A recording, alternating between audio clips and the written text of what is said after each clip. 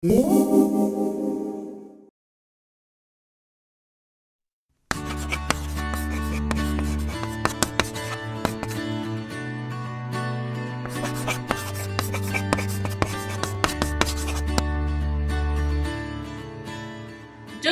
is the practice of cleansing or rinsing the vagina by squirting water or other water-based solutions into the vagina. Douching is not a safe practice because it can dry your vagina and lead to a yeast infection. Douching repeatedly can lead to low birth weight in babies. You can get the same results from douching by taking a bath. Only douche if you have been instructed by your doctor.